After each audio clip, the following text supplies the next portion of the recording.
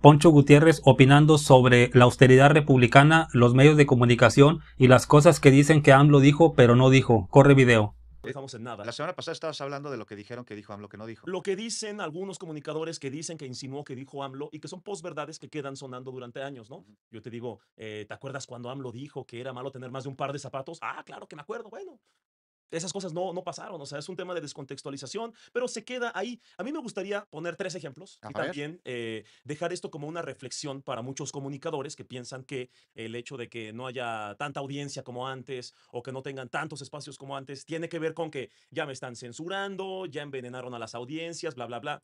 Yo creo que muchos no se han dado cuenta de que ya cambiaron los tiempos, pero ahorita voy a eso. Cuando AMLO dijo que era malo tener más de un par de zapatos, ¿te Sí. acuerdas? ¿Cómo? ¿Qué mediocridad?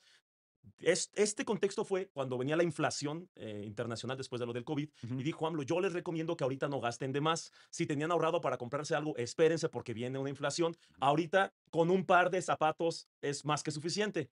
Mejor hay que decir que AMLO dice que, no, que es malo tener más de un par de zapatos, ¿no? No, bueno, dijo AMLO que dijeron que El tema de, ya dijo, ¿qué, qué pasó con la gasolina 10 pesos que prometió tu Mesías, no? Por ejemplo. Y dices, oye, es que déjame darte contexto, eso fue en 2016 cuando la gasolina costaba el litro a 13 pesos, 12 más o menos. No, y- pero eso sí lo dijo. No, sí lo digo. no, a ver, AMLO. No, no, no, no, no. Vamos. No, ese, Hay que ese explicar, ejercicio. estoy de acuerdo. Sí, ese, a ver, lo dijo. eh, él no era presidente todavía, obviamente era candidato. Sí. En un evento de Morena, él dijo: Miren cómo está la gasolina, miren, ahorita cuesta 13 pesos. Cuando Si hubiéramos. presidente, Pero no, él dijo: Si hubiéramos ganado nosotros, ahorita costaría 10 pesos. Ahí está. Pero eso lo dijo no dijo cuando que iba a costar 10 no pesos, dijo, yo les serio, juro, ahora sí ha prometido en otras ocasiones que en cuanto él ganara iba a bajar la gasolina, pero y no ha Entonces no cumplido. dijo que cuando fuera presidente la gasolina iba a costar. Esa frase de yo les juro que va a costar 10 pesos cuando habla está completamente tergiversada. Yo quiero dejar una reflexión para los comunicadores. El otro día, la primera vez que yo me senté aquí hablamos de la austeridad y la mayor, yo creo que la mayoría de la gente que consume contenido de políticas y de analistas sabe perfectamente lo que es austeridad republicana, que tiene que ver con la reducción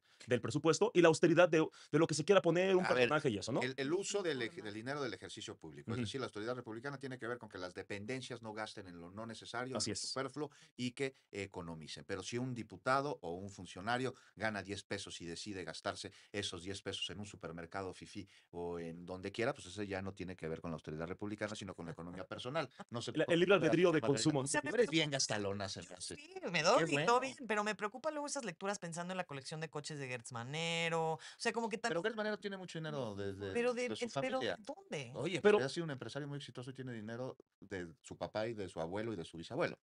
O sea, Búscate pero, otro caso. pero es que yo siento, no, te voy a decir por qué, porque yo siento que la intención del presidente, en una, a ver, vamos, yo me voy a pasar del otro lado Adelante, para, adelante. Sí, por favor. O sea, yo hay cosas en las que estoy de acuerdo con la intención del presidente, que es básicamente el que tú vivas en un país donde no te alcanza para un montón de cosas y ves una bola de personas, ¿no? Pa- no, ¿no? Que un día traen un coche, otro día otro, un día traen una bolsa, otro día otra, un día, o sea, hay un despilfarro, ¿no?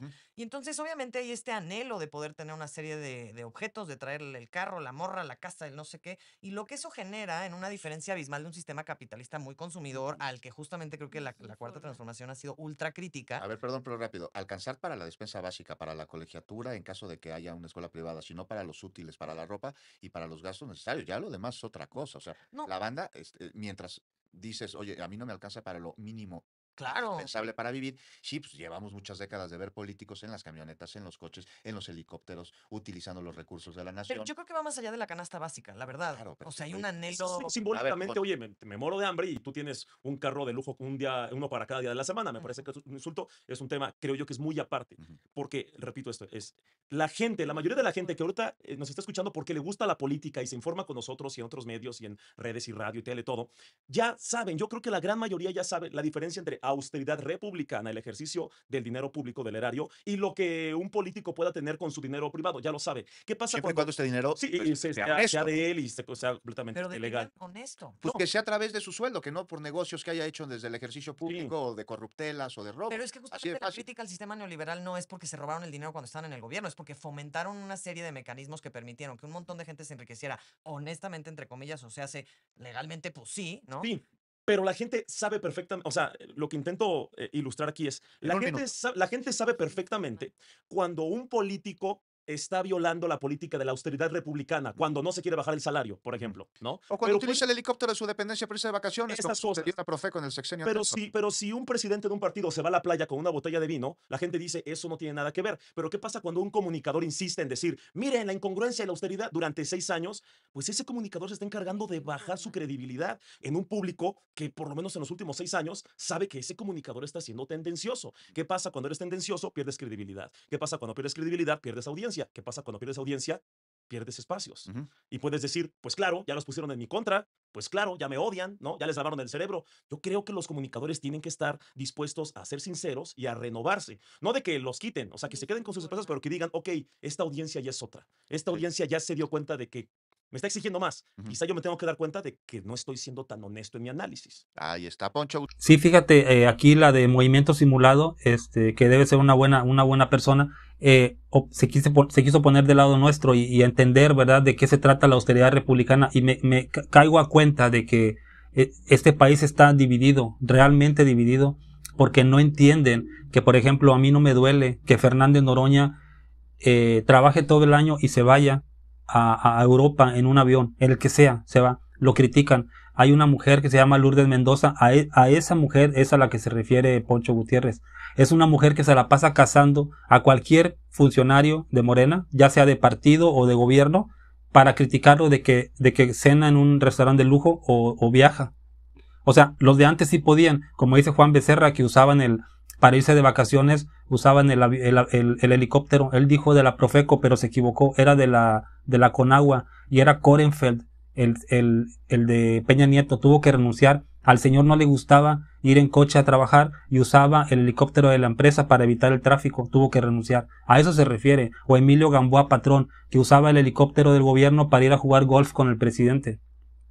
Eso era reprobable y ahí Lourdes Mendoza y estos miserables eh, periodistas conservadores no decían nada.